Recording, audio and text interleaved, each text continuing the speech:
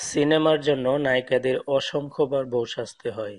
একেক সিনেমায় তারা বধূ বেশে হাজির হন এক একেকভাবে। কিন্তু আসল বিয়ের সঙ্গে পর্দার বিয়ের তুলনা হয়? নিজের বিয়েতে সবাই সবচেয়ে সুন্দর পোশাকটি পরতে চান। আর নায়িকারা যেহেতু ফ্যাশন দুনিয়ার মানুষ, তাদের বিয়ের পোশাকগুলো হয় দেখার মতো। মনের মতো পোশাক তৈরির জন্য লাখ লাখ রুপি খরচ করতে দ্বিধা করেন না তারা। বলিউডের কয়েকজন নায়িকার বিয়ের পোশাকের দাম শুনলে চোখ কপালে উঠবে। বলিউড তারকা শিল্পা শেঠি অভিনয় করে তেমন পয়সা করে আয় করতে পারেননি ঠিকই, কিন্তু ধনী ব্যবসায়ী রাজ কুন্দ্রের সঙ্গে তার বিয়ে বেশ ধুমধাম করে হয়েছে। বিয়ের দিন এই তারকা জনপ্রিয় ডিজাইনার তরুণ তেহলিনিয়ার নকশা করা লাল শাড়ি পরেছিলেন।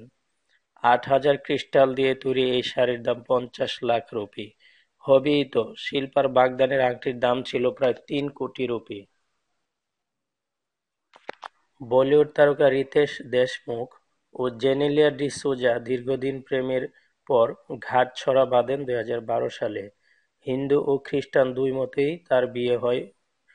মহারাষ্ট্রীয় রীতিতে বিয়ের সময় জেলেনিয়া পরেছিলেন নিতালুলার নকশা করা একটি ভারী কাজের শাড়ি। শাড়িটির আনুমানিক দাম ছিল সতেরো লাখ রুপি। বলিউডের তারকা দম্পতি ধর্মেন্দু ও হেমা মালিনীর বড় মেয়ে এশা দেওল নিজেও তারকা। দুই হাজার বারো সালে ভারত তাখতানিয়াকে বিয়ে করেন এই ভারতীয় নায়িকা।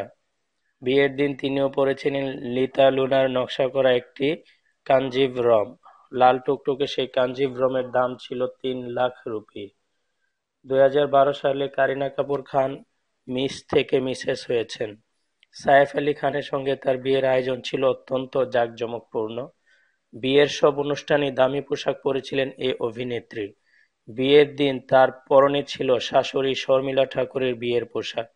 ডিজাইনাররা দিয়ে, ডিজাইনারকে দিয়ে এই পোশাকে কিছু পরিবর্তন আনা হয়েছিল।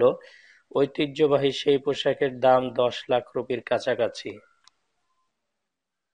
ঋতু কুমারের নকশা করা একটি পোশাক পরে বিয়ের পিঁড়িতে বসেন নায়িকা দিয়া মির্জা। দুই হাজার চোদ্দ সালে তার বিয়ে হয় চলচ্চিত্র নির্মাতা সাহিল সঙ্গের সঙ্গে। মুঘল যুগের পোশাকের আদলে তৈরি এই পোশাকটি তৈরিতে খরচ হয়েছিল পনেরো লাখ রুপি। কথিত আছে, এই লেহেঙ্গার কিছু জায়গায় সোনা বসানো ছিল।